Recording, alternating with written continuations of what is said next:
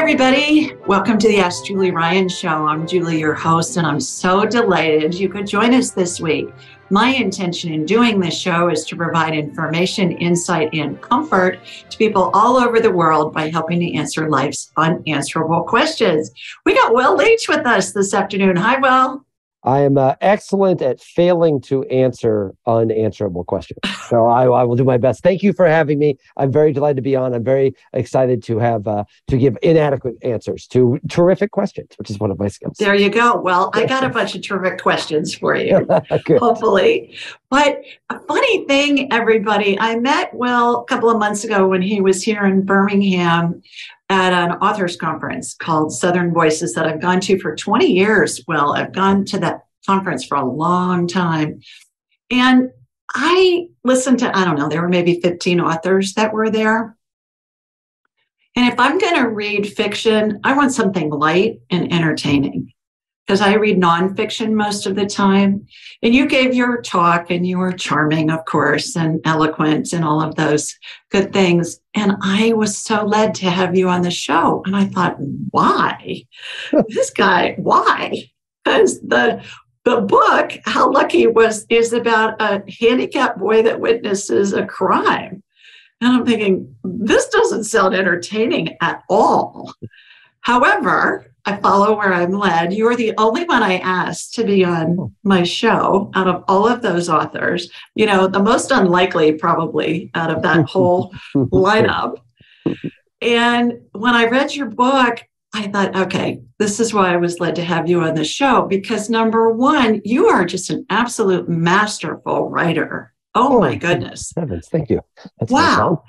How you combined a thriller and all this other stuff and humor and you're a Big Ten guy and I'm a Big Ten gal. You went to Illinois, right? Yes, yes. And I went and I went to the Ohio State University, of course, of course, of course. And now we're both SEC fans. You for Georgia and me for Alabama. And and you know a lot of humor in the book um, amongst all this other stuff and just really captivating. And the other thing that I found, Will, it was so interesting was this book is so profound in a number of ways that I want to explore with you over the next few minutes that we have together. And, and that's why I wanted to have you on. I just didn't know why, but pretty pretty early into the book, I'm like, okay, this is why I'm being led to have Will on.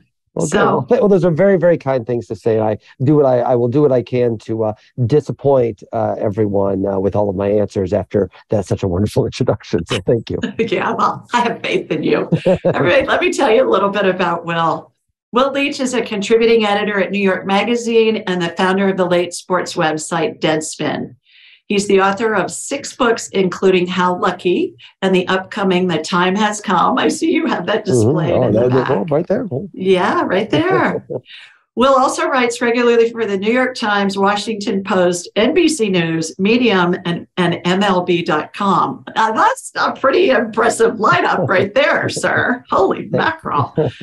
He lives in Athens, Georgia with his wife and his two sons. My goodness, that's those are some big old names in the writing world. You know, I, I, like to make things. That's my that's my general rule. It's been my hero growing up was actually Roger Ebert, the film critic, uh, who was a beautiful writer, and he was from Urbana, Illinois, which is uh, near where I'm from in Mattoon, Illinois.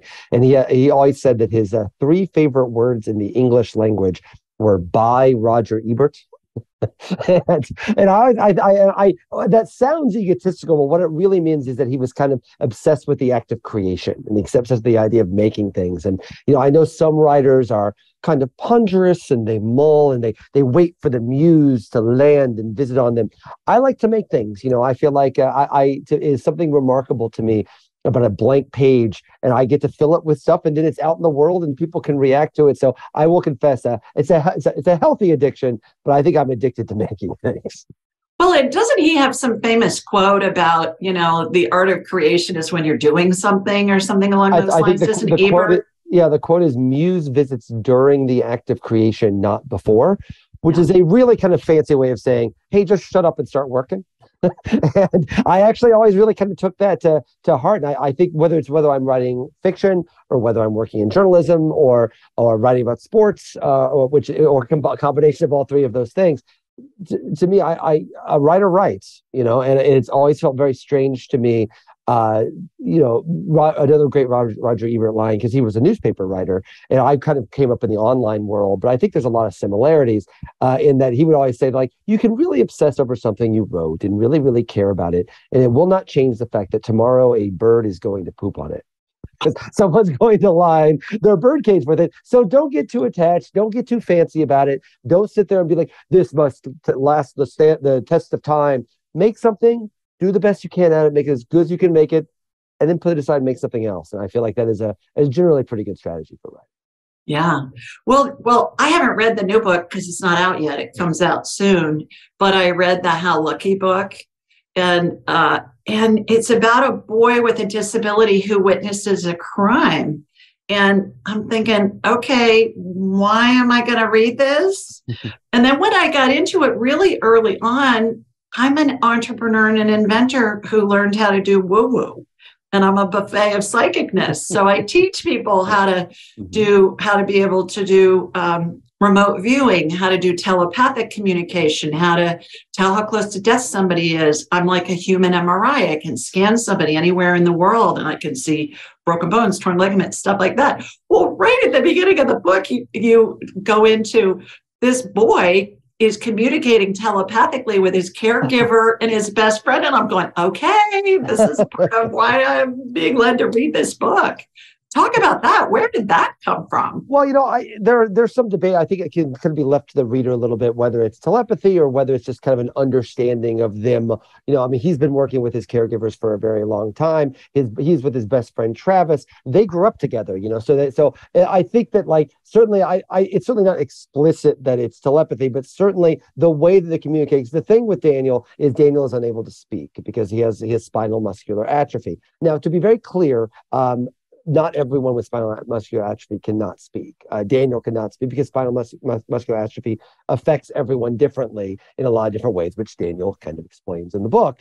Uh, but one of the things that he can't do is he can't speak. And so he has kind of developed this shorthand, if you want to call it, telepathy, if you'd like to call it, that you are more of an expert in the field than me. So I will let you use the uh, the, the terminology that you think is best.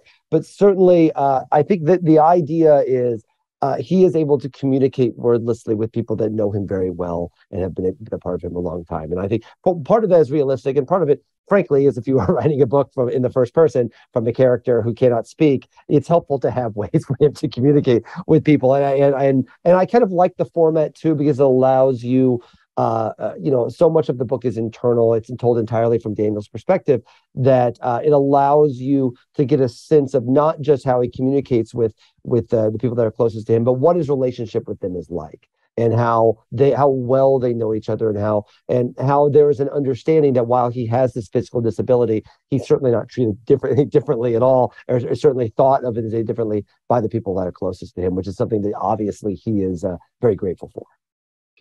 Well, the telepathy thing, boy, I picked up on that in a heartbeat because I do that and I teach people how to do it. And you communicate with anybody, whether it's a spirit that's in heaven or whether it's a spirit still attached to a body. And I communicate with people. There's a, a dear friend of ours, his mother is dying right now.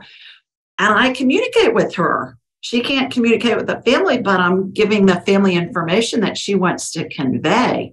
And that's what I teach people how to do. And I thought, oh my goodness, is this something that can be and perhaps would be interesting to caregivers of people who can't communicate verbally? Because I know in the book, your Daniel's character has one of those deals where it's a computer and then it's an automated voice of what he wants to say because he can't talk. But I thought, would this be something that would be so beneficial to caregivers to teach them how to communicate telepathically? I mean, I certainly would have to. I, I would trust your judgment more on that than mine because you're more of an expert. But certainly, I think, uh, you know, I think one of the great things about uh, caregivers, and one of the things that really inspired me to write the book, along with with uh, which I'm sure we'll get into, uh, my kind of personal experience with spinal muscular atrophy, is uh, my mother was an ER nurse for 40 years, and so I have spent a lot of time in hospitals. I've spent a lot of time around caregivers, and that kind of unique connection that caregivers have with the people that they help. Uh, on one hand, it is uh, as emotional and intimate as a relationship with two people can be. Uh, in a way that can be almost uncomfortable and almost uh, to, uh, uh, there's an intimacy sometimes you'll have with the caregiver that you may not have with your closest loved ones uh, in a lot of ways but on the other hand, the caregiver, because they have to take care of a lot of people, has to be careful and has to not become too emotionally invested, or they will be devastated every single day because they are constantly surrounded by sickness and illness. And so that dichotomy is something that I kind of knew from my mother and saw her for years and years and years working in the ER and, and how she had to kind of handle that every day. It's something I was really fascinated by and something I've spent a lot of time researching uh, in hospitals with caregivers, talking to caregivers, how they kind of balance that uh, and hopefully that comes across in the relationship that Daniel has with Marjani. Marjani is the name of the woman who uh, takes care of him in the book. And hopefully that's a that's something that I, I think they can connect to. Oh, absolutely. And, and it was so well written and so beautifully written that it was just, I didn't, nobody would even think twice about it. It's just this guy's communicating with his caregiver and his best friend. Interestingly enough, I had a, a guy on recently who's a retired ER physician mm-hmm. and was director of a level one trauma center in Salt Lake City. And he came out of the closet after he retired and let everybody know that he could not only communicate with his patients telepathically, but also the spirits of their deceased loved ones. Like if somebody had died in a car accident and they they were still alive, but their family members had died, their spirits would be in the ER. He could see them and he could communicate with them.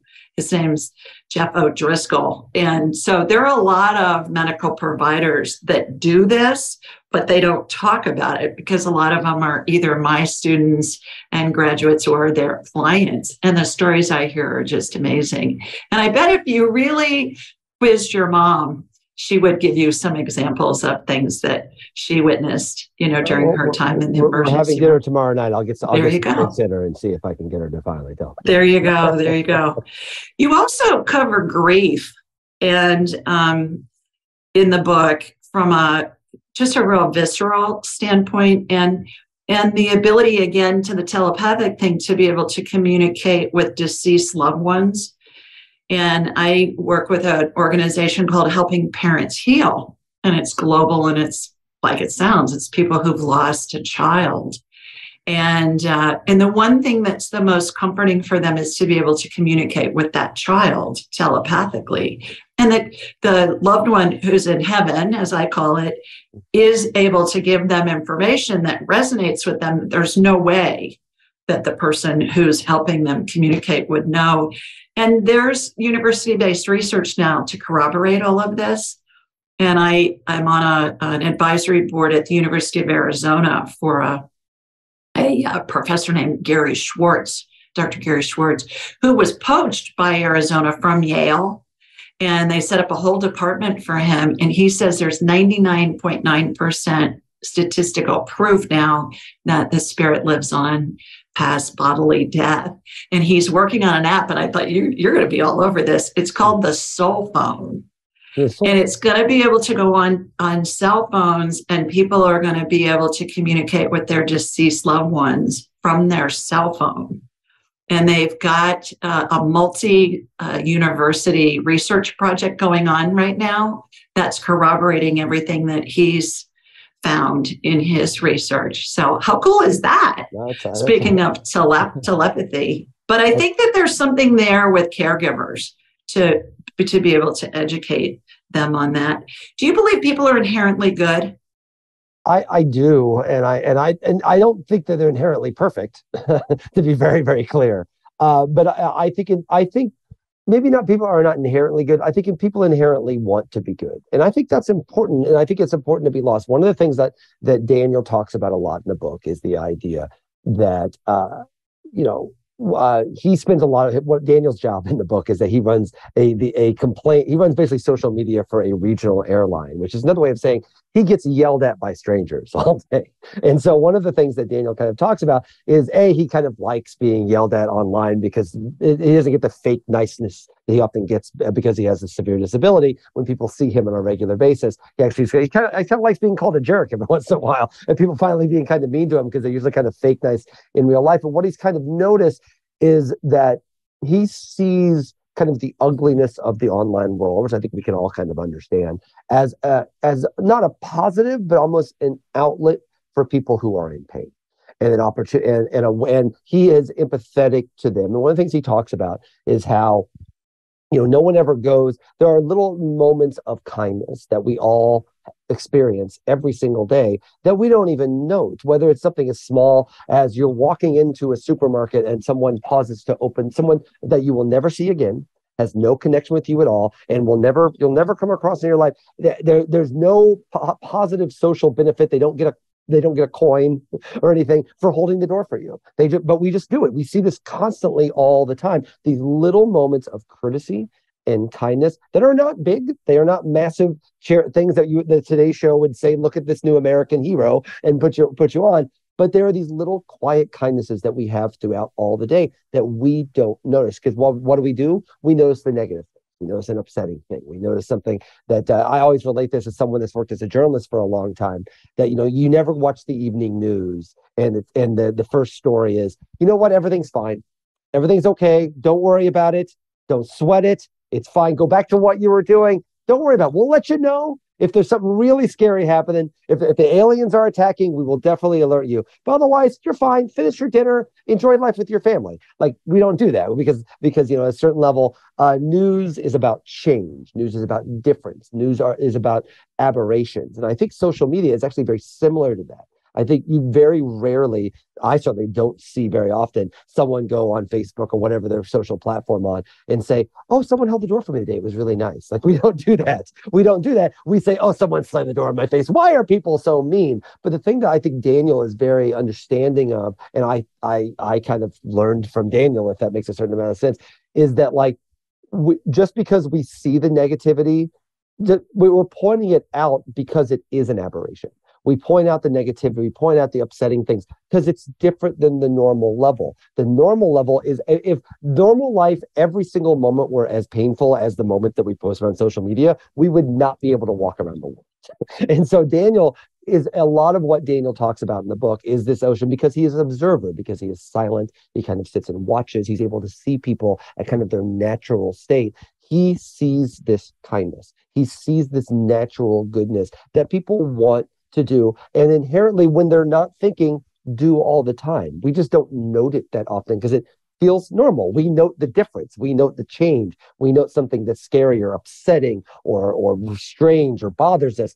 But that's not actually what the norm is. If it were different from the norm we would constantly be going on social media saying oh my gosh someone was nice today. I can't believe it. That never happens but it does happen. It happens all the time, and that is something that that that to me is the key to Daniel's understanding of the world. And frankly, as someone who you know, you always hear authors say things like, "Well, I just made the, I just followed the character to wherever they were going to go." And before I wrote How Lucky, I will confess, I always found that a little like, yeah, that sounds a little pretentious, but I understand. I do kind of understand it now because Daniel, to me, is an aspirational figure. I wish I were more like Daniel, and uh, and it's something I try to keep in mind when I'm navigating the world. That uh, I'm particularly with all everyone has been through in the last few years. You're not seeing people at their best. We're still all kind of recovering. We're still all a little bit in a, in either currently in trauma or a post traumatic mode of one of the most tumultuous times I think any of us have ever lived through uh, I try. Daniel is very good about keeping that in mind about people, and uh, I try to do that myself as well. Well, what does the news say? If it bleeds, it leads. yeah, exactly. That, that the kind of the. And, and for the record, they do not teach you that exact phrase in journalism school. yeah, but it's it's implied. Though, it is implied. Right? I, I agree, implied. but it, but they, they they certainly don't for that.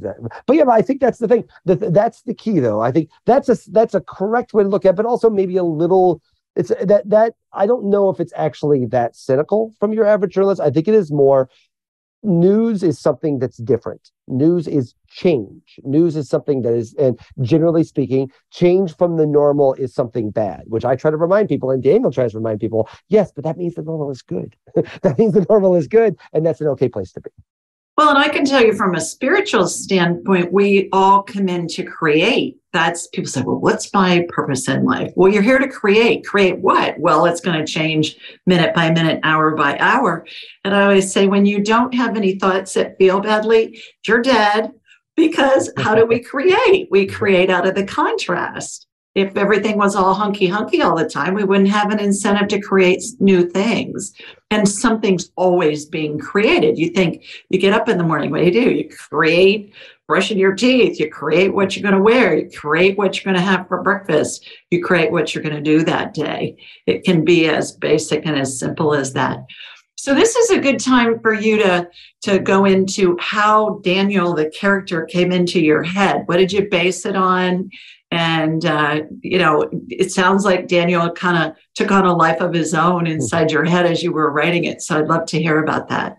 Yeah, so just a little bit of background, just how the book itself kind of came created. As I said, I'm I'm a journal. Uh, I'm probably more known. I would say I always joke that like uh, my my nob, my book editor has no idea that I write about sports. He doesn't care about sports. Doesn't know anything about sports at all. And then there's a whole other life where I write about sports for New York Magazine and all of these places all the time that have nothing to do with fiction at all. So I always kind of like having these parallel. It's like a secret life.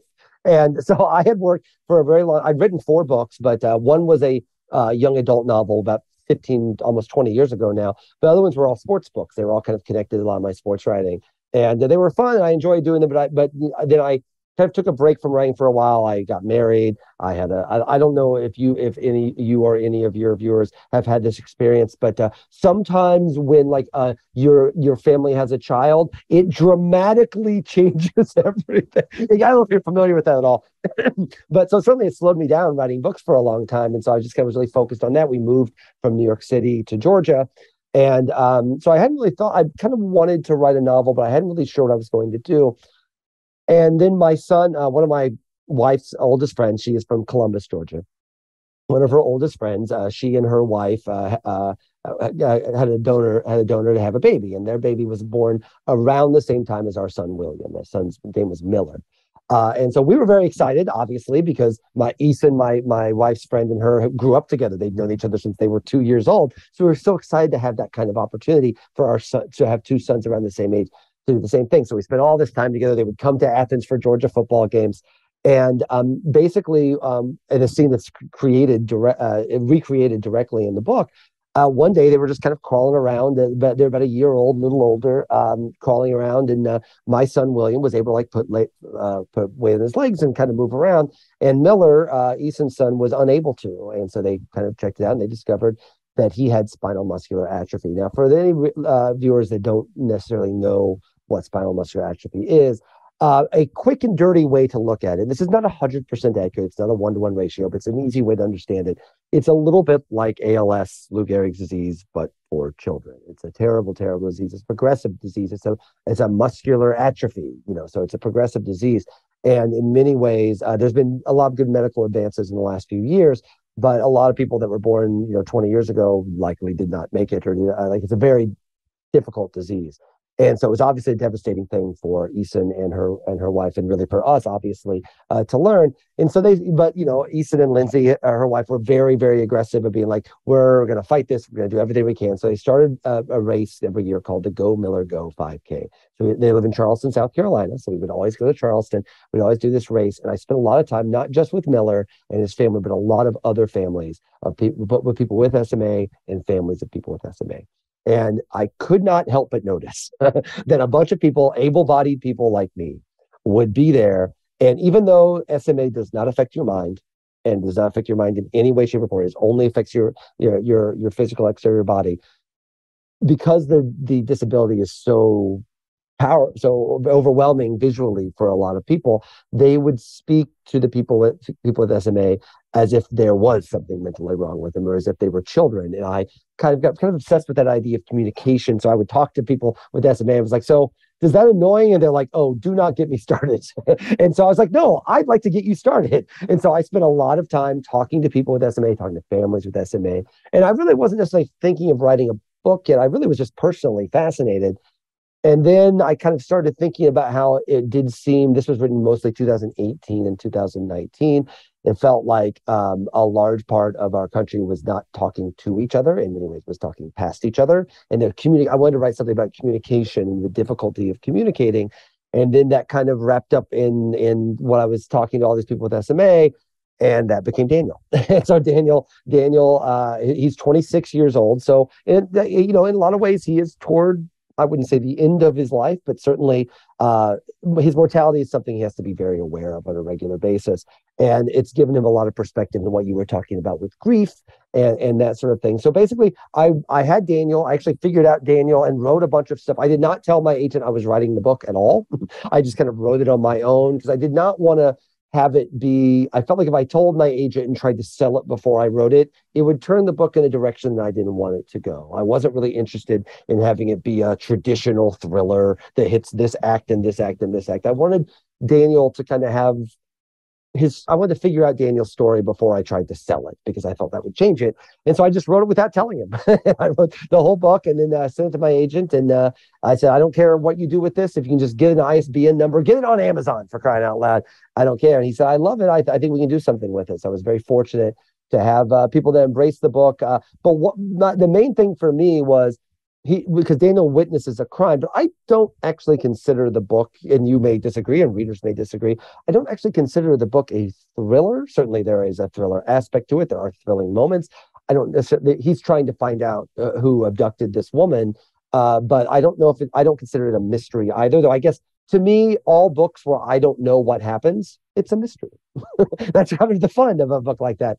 So, uh, but for me, a lot of it was just kind of do right by not only Daniel, but so many people in the SMA community who donated their time to me and uh, let me know all the things that I was getting wrong, and there was plenty uh, uh, that uh, really helped make Daniel's story kind of come to life. So it was inspiring. It was great to be able to. I've been very honored that Cure SMA, the primary SMA uh, charity, has embraced the book and promoted the book. I've been very fortunate that they've done that. I'm very honored. Hopefully, we've been able to do some good. But uh, uh, it, it is uh, it's been it's been a very touching experience to to be able to even meet more and more people and, and learn more from their Interestingly enough, I have a business partner that died from ALS. Oh, okay. And he was my friend for 30 years, very close friend and business Sorry. partner. And so a lot of what you go through with Daniel, mm-hmm. I I didn't witness it. He lived in Los Angeles, but I certainly talked to him all the time and he would be able to tell me what was going on I could scan him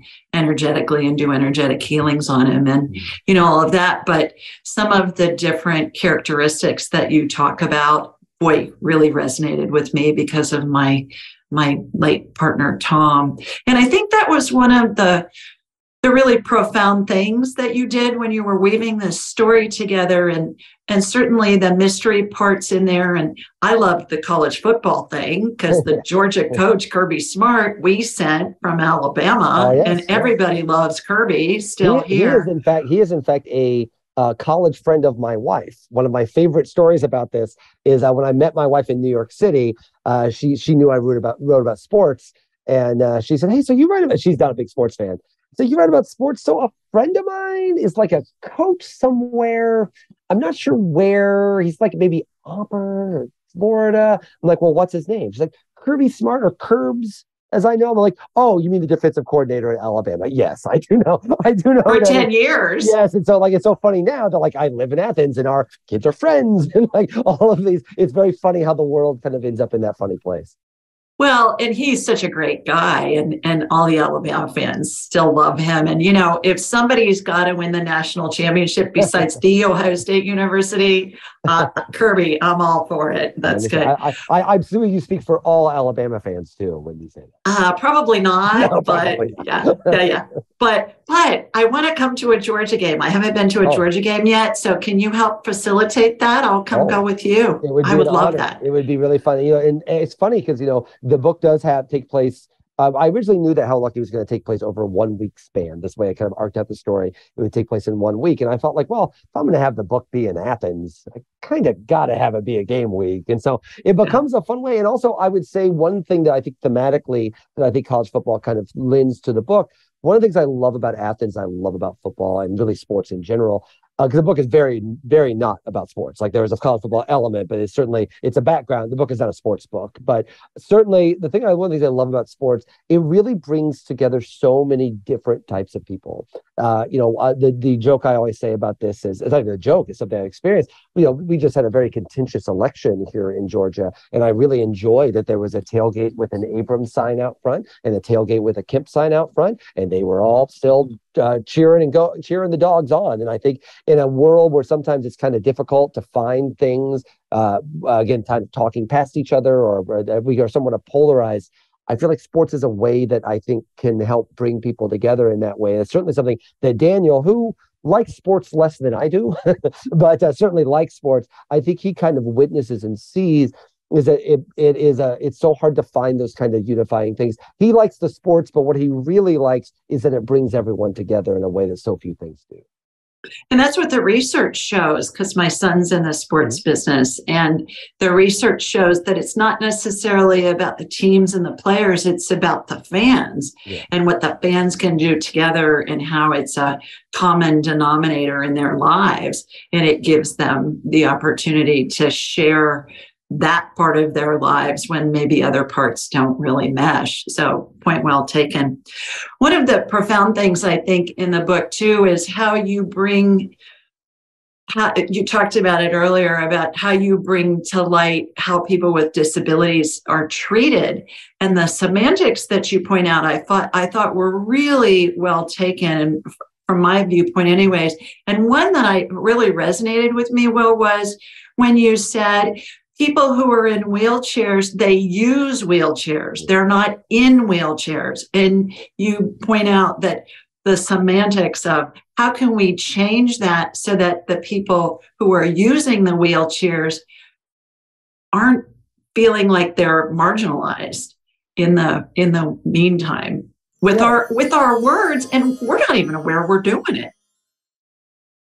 yeah, and to be honest, I was not really aware of a lot of this stuff either because I, you know, what? Uh, listen, I'm an, I, I am certainly recognizing that I am an able-bodied person writing from the perspective of someone that has a disability, and so that requires uh, um, a lot of work, to be entirely honest, to get it right. You know, I want to do those stories right, and frankly, that is there's a lot of things, so many things of Daniel's day-to-day life and his viewpoint and and and his view on that comes directly from conversations with people with SMA and people that and also with people other with other disabilities. So, cerebral palsy, I think, would be another good example of of that. And that is, you know, it's funny. Um, what um, I, I worked with the Cure SMA charity, and I, there's someone on their board that I spoke with after the book had come out, and she said she told me she loved the book, and she said I have to tell you, uh, every single time I ever read a book or watch a movie about a dis- someone with a disability, I spend most of the time being like, okay, they're going to screw this up. Let me just wait for the moment where they screw it up and it completely takes me out of the narrative. And that didn't happen in your book. How did that happen?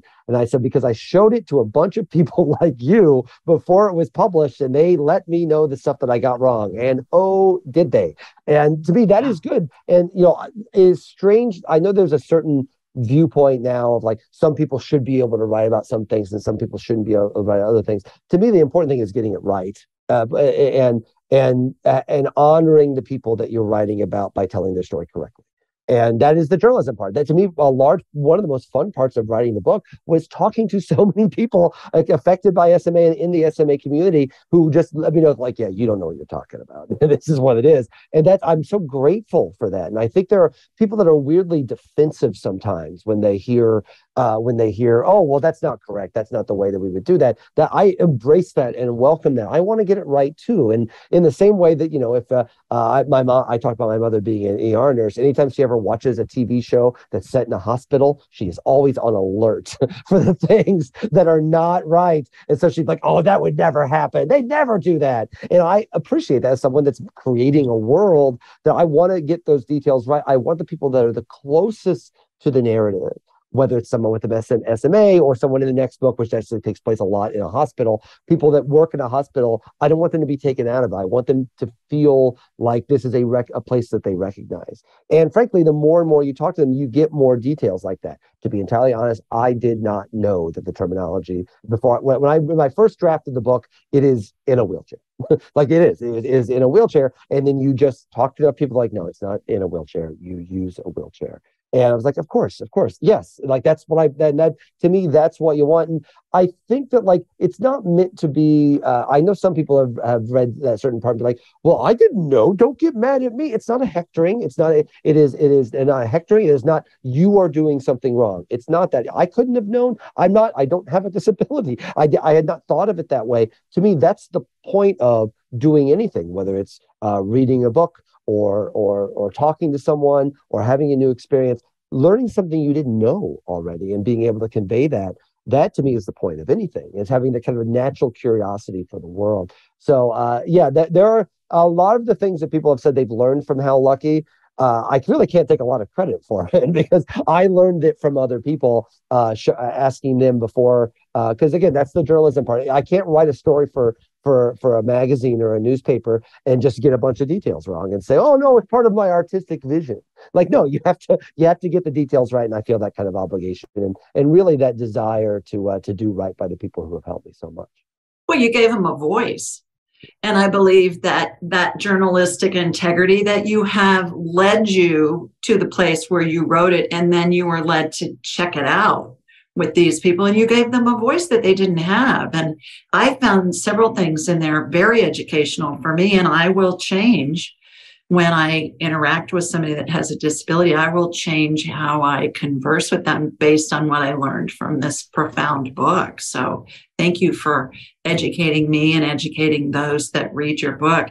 Back to my partner tom he was a corvette guy uh-huh. and had Corvettes and had like classic Corvettes. Mm-hmm. When I'd ride with him in his 65 Corvette, I, all I could think of was the people next to us. You know, we'd have the top down and stuff, and the people next to us going, Get your muffler fixed from that old. Because no, it was that's a, that's so a feature, loud. not a bug. so loud but he wasn't able to drive certainly as the ALS progressed. But he, but when he got some new souped up wheelchair, he had his wife videotape him and he sent it to me and he was going really fast. They had a circular driveway and there was a fountain in the middle. Oh my gosh. I think he was he was like doing wheelies and on two wheels when he was turning corners. It was a riot. So it gave him it, he said it it felt like it gave him part of his life back yeah. because he was a speed demon and he couldn't do it in his cars with him driving anymore but he he could i mean i don't know how fast those things go. He said it went up to 20 miles an hour if not if not faster. I don't know if that's true. But anyways i related to that when i when i read that in the book. You also addressed the topic of mortality mm-hmm. and someone feeling lucky to be living on borrowed time. Did that have an impact on you and how you're how you live your life? How do you separate your work life and your personal life? Did did that that narration in your head about Daniel and knowing that he's living on borrowed time, did that affect how you see things in your own personal life?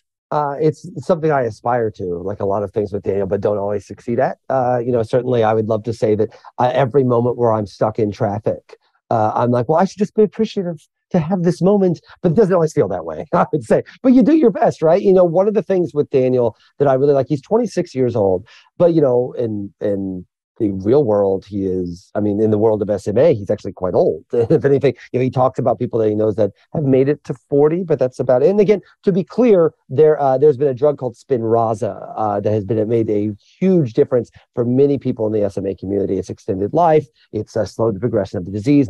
For Miller, my son's friend, it's been a godsend for Miller. Uh, and so, you know, I, I, that's something that Daniel, being older, would not really have necessarily had access to as young. But certainly, still, there is a compressed time frame, time frame, uh, uh, uh, and and lifespan that I think Daniel is very vividly aware of. And one of the things, you know, uh, one of the main characters we haven't talked about in the book is Travis, his best friend.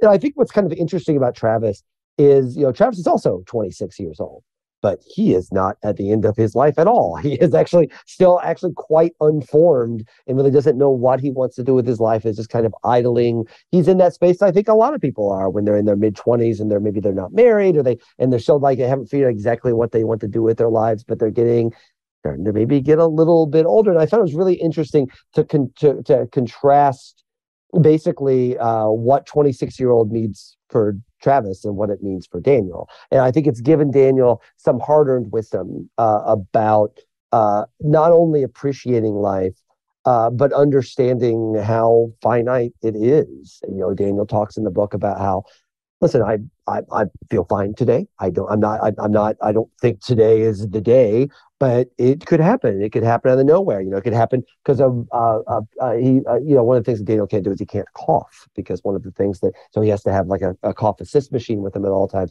If the machine's too far away, if he falls over and, and bust and, and bust something, I think, uh, uh, uh a lot of times, like you know infections and viruses are incredibly dangerous for someone with SMA and you and and you never know when one of those is going to come up. So it's made him be aware that yes I feel fine now and I think I'm okay but this could happen tomorrow and I can't do anything about it. And we all talk about that right? And if we do not have a disability like this or if we feel like we're living a quote unquote normal uh, life we don't think about the fact that a piano could fall on our head tomorrow but it could but it could. And so I think that like uh, Daniel, I think, tries to remain very vividly uh, present and alert and aware in his life. Uh, not as like a signpost for people that not with SMA, but just something in his life that I think is he feels like he wants to embrace all of these moments because he doesn't. He has to be vividly aware that it could all be taken away in a minute, and and I think that's an interesting contrast with someone like Travis, who again is is the exact same age, but in an entirely different life uh, situation. But I think it helps Travis too, and I think it helps a lot of the people around Daniel in a, in a way that's hopefully interesting and, and helping. You know, you talked a little bit a bit about grief, and uh, and I do think that like you know there is grief is definitely a uh, there's a, a, it runs throughout the book. I don't think there's any question about that. And but it's hope uh, it's hopefully a warm grief like you know like the idea that like th- to have you know you you've experienced loss i've experienced loss we've all experienced loss. And the, it's obviously devastating and i think of people i care about now and losing them it makes me want to jump out a window and hide under the couch. It's terrible. But when i think about people that i have cared about that i have lost i do not I do not walk around the world being angry and crying that they're gone. That's not, not how my grief has. That's not how grief I think manifests itself ultimately for most people. It ultimately lands in, oh, now I can just appreciate the good things. Now I now like when I think of when I think of my uncle who died uh, a few years ago, I don't think about how he died or how I don't get to see him anymore. I'm sad. I'm aware of those things.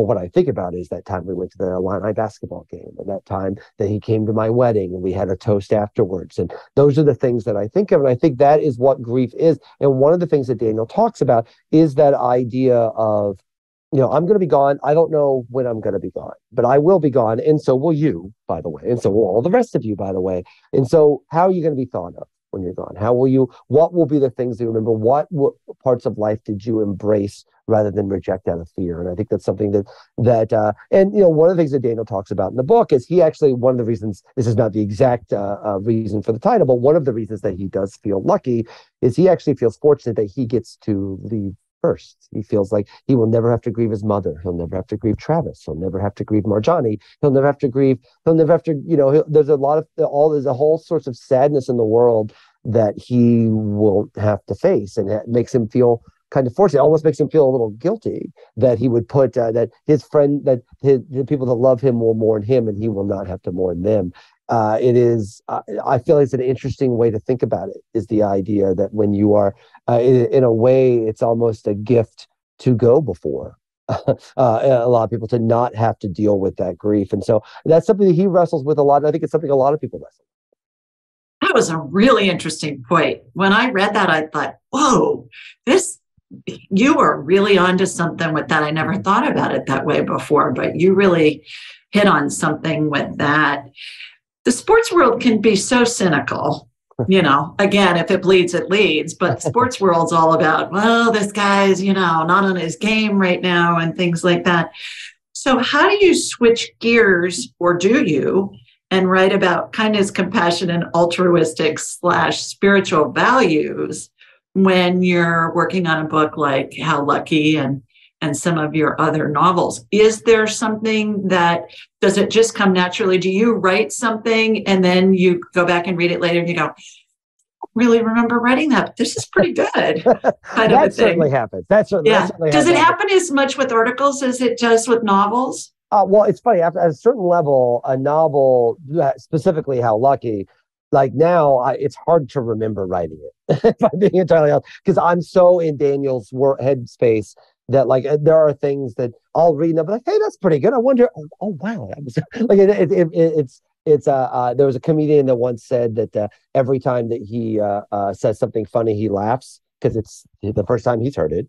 and I feel like there is something to that. Uh, you know, it's been so long. Like there are there are paragraphs in How Lucky that has now been six years since I wrote. That's a long time to to to remember. I and listen, there uh, other writers have much better understanding than that. My my always joke that my agent uh, my agent has is also John Grisham's agent, which sounds more impressive than it is. It's definitely cool he's John Grisham's agent. It's less cool that he's mine.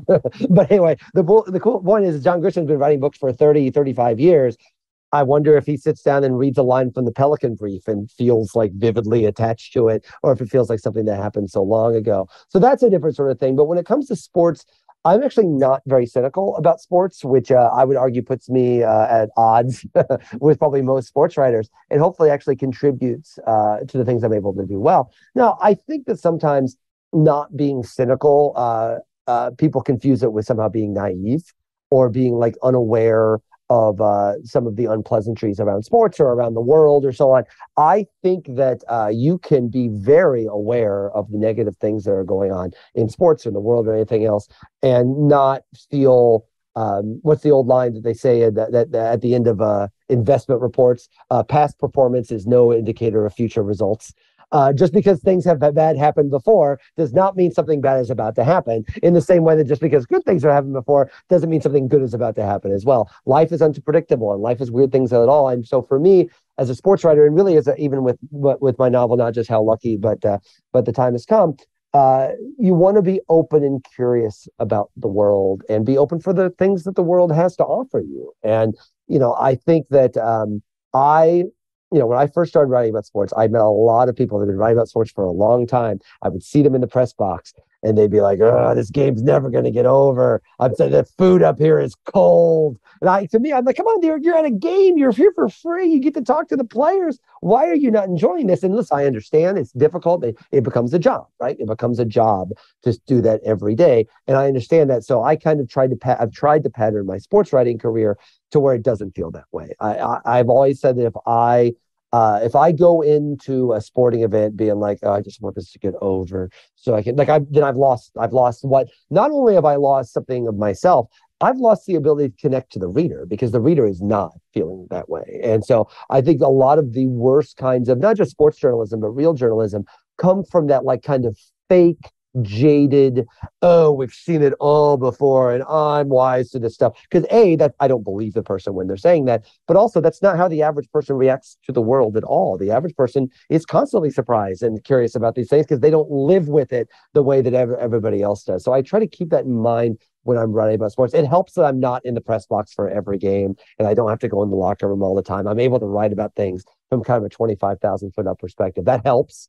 Uh, but certainly, um, I think a lot of it's attitude. You just have to you have to want to enjoy this stuff. People go into sports writing because they love sports. I feel or sport not sports writing or anything in sports. Your son working in sports. I'm sure he did not I'm sure he did not hate sports but stumbled into the world of sports. He liked sports. He wanted to be involved in sports. He's probably liked sports for a really really long time to me, it's uh, uh, tragic is probably too strong of a word, but certainly very sad when someone uh, grows up loving sports and wants to be close to the world of sports and wants to write about sports, and then they get into covering sports, their dream job that they always wanted to do, and they don't like sports anymore because of it. There's something very sad about that. And so, uh, for me, I, have tried to pattern my career to where I'm not cynical about. It. I'm aware I write about the problems in sports all the time, but I won't let them stop me from the reason that I start, started caring about sports in the first place. Well, and you, it, you obviously were led to do that, and and the other thing is when you're writing your novels, you're channeling. I hate to go woo woo on you, but no, I don't really hate it. You are. Every author channels, every composer, every screenwriter, everybody's channeling all of that, and I think it's fun how you're so diversified and um, from Deadspin to GQ to movie reviews and lots of podcasts in between. I'm like, gosh, you're so multifaceted. Faceted. So, how do you keep it all straight, and what makes you say yes to different projects as they arrive? Uh, I say yes to everything. This is like this is my rule. Uh, you know, I, uh, I I don't know and I think this is probably true for most people, I don't know what I'm good or bad at until I do it. And I don't want to live in fear I have failed so much. I'm going to fail. I probably failed several times in this call. I will fail after we are done. I, I'm, I'm, I, I, like all humans, am just a series of failures. And there are occasional good moments in there, and there are things I did that works, but I'm not afraid of failure. It's going to happen. I can't do anything about it. I can try to learn from my failures and try to improve and do better. But the the notion of being afraid of not being good at something and therefore not doing it strikes me as very silly. Uh, I would rather fail at something than not do it and never know. And uh, so that has led to because I always knew I wanted to write, but you know, I I've done a lot of television. I briefly hosted a TV show for Sports Illustrated that was watched by so many people that they don't do the show anymore. but uh, but it was fun, you know. It was a fun thing to say yes to and try out and see if I could do. And the same goes for movie reviews. The same goes for writing long investigative journalism piece, and then to, to writing novels. You know, I I'm from a small town in rural Illinois where I, I always say I'm from a I'm from a long I'm I'm, I'm from a, a long line of non-readers. so like I'm my, my family like I, I always joke about this, but I have an uh, my my I have an aunt in back in Mattoon who lo- loves me and wants to support my career, but just doesn't read. She just doesn't read. She's just not into it. And so uh, so I was like, well, maybe you can try an audiobook. Maybe you can listen to an audiobook. So I got her the audiobook and she got like like five minutes in. She's like, wait, this isn't Will why would I listen to this? Someone else is reading Will's book. Like someone had like snuck in and taken it. And so like I say this is to say that like I'm it's remarkable to me that I get to do any of this. Like it, uh, I, my my father's electrician and my mother is a nurse. There are no writers in my family. This is not something I just, for whatever reason, struck by the lightning bolt. It's something I wanted to do from a very young age. And uh, I feel kind of blessed and fortunate to be able to do this at all. So the idea that I'm going to come this far uh, uh, to be able to do this for my living and my calling and my art and say, oh, I don't know, that's too scary. I shouldn't try. By the time that, I would never got out of Mattoon in the first place. And so for me, you know, I like to uh, uh, I like to say yes to things. I and listen, it requires a lot of organization. Uh, certainly, the kids' sports schedules are always very locked in. We always work around them uh, on everything. Uh, uh, and for me, work completing the work is actually not the hard part. Uh, it's really making sure that I'm present for everyone else in my life. you know that that is. and and that's something that frankly is easier in Athens, Georgia, than it was in New York City and not, I love living in New York. I lived in New York for 13 years. I've been Athens, in Athens for almost 10 years now, and it's it's you know I mean you I don't need to tell you it's easier. You get to, you have more time to be able to do all of the things you want to do, and you know it's cheaper. I'm not gonna lie about that. It's warmer, the weather's better, and people are generally in better moods. And so I you know I think that's helped too. Is making decisions that will allow me to do all the things I want to do and try out all the things I want to do and say yes to new opportunities without feeling that I'm losing the thing that's actually the most important to me. Uh, which is which is my family and the people uh, people that live in this beautiful house that my wife, who's an interior decorator, has designed. So, uh, so she she she has a bunch of pillows that are beautiful that are behind me that are usually here, but I move them out of the way for the Zoom uh, to get that. But uh, uh, yeah, that that to me the challenge is not getting it done. I'm very organized. I'm very, I have a to do list I do every day, and I literally mark it off on a steno pad every day to get everything done. I have a very organized calendar. It's the only way to do it. Not so much to get all the work done, but to make sure I still have time for everything else that's important in my life. Well, I think there's a much bigger picture here with you and with everyone in that you've been led to do this because you're so, as I mentioned, masterful at what you write and how you write that you are benefiting everybody that reads your stuff and everybody that shares your stuff with others. So for you to come from a background of non-writers and to have had the success that you have just from reading the How Lucky book, my goodness, it it just is so illuminating in so many ways and entertaining at the same time that I there's not a doubt in my mind that you're being led to do this. And it's going to be fun to watch your career going forward and see where you go next with all of this. And and I appreciate that you're like a plate spinner that they used to have on the Ed Sullivan show. I'm dating myself. Well, you it know, feels, guy, it certainly feels that way. It certainly he'd be pl- spinning a plate and then he put another one and then he'd go back and he'd spin the first one a little bit more. And, you know, and you got all these plates spinning. I'm the same way. Yeah. I, um, like, listen, I'm, I'm, you know, I'm, I'm alive. I want to do things, you know, Right. it, it, it, seems, it seems strange to, uh, uh, all the circumstances and all the things that had to come together for me to be living at this exact moment and be able to be around the people and be able to do the things I get to do. I'm not going to spend it binging Netflix. I'm going to go do stuff. And nothing thing wrong with binging Netflix, Beef is a really good show, by the way, if you get a chance. I'm not, I'm not saying there's anything wrong with that, but I want to do things. You know, that, I, I don't know. I like Daniel. I don't know how long I'm going to be here. so, Right. like, you know, I, I want to be able to say yes to stuff. It's exciting for me. Yeah, there's a lot of plates to spin sometimes, but, uh, you know, the, the spinning plates is kind of fun too. Yeah. Well, I, I have a communications degree and I'm an inventor of surgical devices sold throughout the world. And I founded nine companies in five industries. And people say, well, how's that work? Like you, something I was interested in. I said yes. I took a step and then, you know, it all materialized from there. So I, I believe that, that I am a colossal plate spinner like you are. I know that. Seems like you've always been a writer first throughout your career. And in terms of the increasing AI and ChatGPT, et cetera, what concerns you about that if it does? And how can writers use it to their advantage without being made obsolete? Um, Explain what it is to everybody Yeah, first so and then artifi- explain. AI and artificial intelligence, yeah, it, it is a lot of ways that like there's there's now these chat bots that can like I, I would say impersonate human behavior rather than necessarily uh uh some say it's a simulation. I think they're probably using external clue cues to impersonate. But it's a way, you know, uh, you're seeing it integrated into chat a lot. You're seeing it, you're going to start seeing it integrated into search uh, very soon. I think Bing is already doing that. And the idea is it will automate theoretically speaking, if you wanted to, I think I have done this to experiment. I actually had um, uh, the AI chatbot write me uh, an introductory press conference for my getting hired to be the manager of the St. Louis Cardinals. Now that has not happened, for, for the record, but someday I'm still hoping I'll say yes to it if I get the opportunity. Uh, but certainly, uh, and it will produce that for you in a matter of seconds. And so um, I would say certainly on one hand, AI will keep getting better because it's pretty glitchy right now, but uh, it definitely is really bad about getting facts correct. It's something that's it's very it struggles with that a lot. However, you know, I do think it will get better. I will say that um, I find it encouraging as a writer because um, AI can impersonate humans. AI cannot actually be human, and, and and AI can mirror what it believes or what it the data that it gets from a human being doing human things. It can't actually feel those things.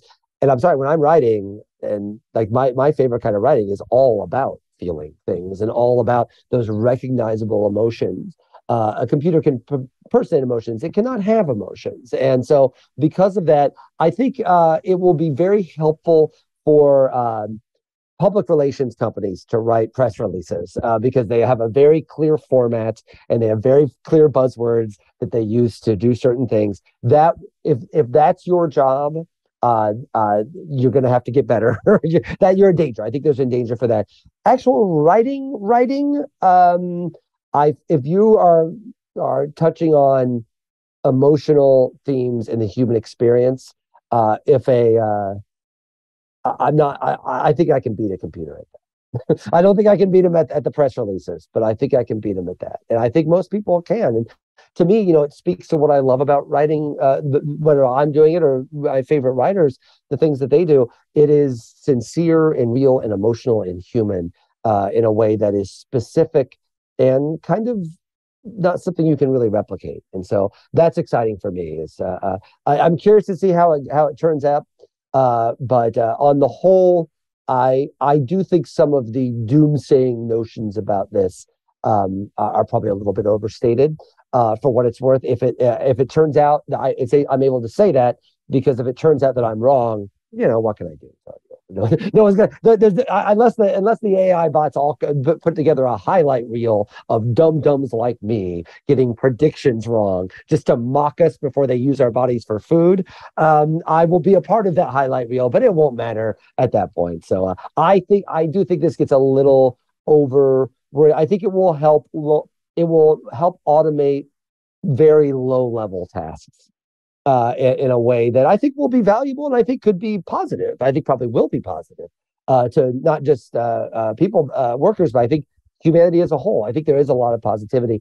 But the idea that it's that someone's going to be able to really love a AI written novel, I'll believe it when I see it. Interesting. Last question your new book, The Time Has Come, mm-hmm. which is behind you, is coming out in May of 2023, coming out here in a matter of weeks. When people go out and get it, what can they expect from it? The the the book is in. I, I, I will be careful of plot details. I will just simply say this: uh, it is very much of a piece of how lucky, and that what it really is is about empathy and making the best of difficult situations and understanding that the people that you meet have things going on in their lives too. And uh, it's about, you know, uh, the, the book starts with a uh, quote from the great writer Raymond Chandler, uh, who talks about um, uh, dealing with difficult times and how you recover from them and how uh, recognizing that ev- what everyone's going through, um, you can't know it, but you need to be gentle and empathetic to it. And the book is about uh, seven characters. Uh, there are seven characters. You follow them. Uh, it's made very clear at the beginning of the day something big is going to happen. At the beginning of the book, something big is going to happen at the end of the day at this very specific place. And then you follow seven people throughout their day as you get to know them and learn about their lives. And then they end up at that place where the dramatic thing happens, I would say. And you see how they react to it, how they interact with one another, and how uh, um, all the different spreads of uh, all the different strains of uh, humanity kind of come together and hopefully, in a way, help people. So, uh, I, I, one of the problems, I wouldn't say a problem with the book. One of the things we've been talking about with the book is it's very hard to discuss, like, with how lucky you're like, man with a disability witnesses a crime and tries to report it Boom, there you go. You know what it's about. Here, it's hard to describe it without saying too much what the book is about. So just trust me, if you liked How Lucky, you will definitely like the title. Thank you for taking the time to chat with me today. I think you're really extraordinary. I think that the work that you're doing is really just amazing. And thank you for everything that you're doing for the masses and all of the different niches that you play in. And uh, I really appreciate you taking the time to join us today.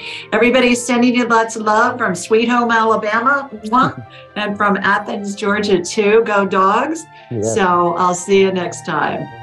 Thank you. Thanks for joining us. Be sure to follow Julie on Instagram and YouTube at Ask Julie Ryan and like her on Facebook at Ask Julie Ryan. To schedule an appointment or submit a question, please visit AskJulieRyan.com. This show is for informational purposes only. It is not intended to be medical, psychological, financial, or legal advice. Please contact a licensed professional. The Ask Julie Ryan Show, Julie Ryan and all parties involved in producing, recording, and distributing it assume no responsibility for listeners' actions based on any information heard on this or any Ask Julie Ryan shows or podcasts.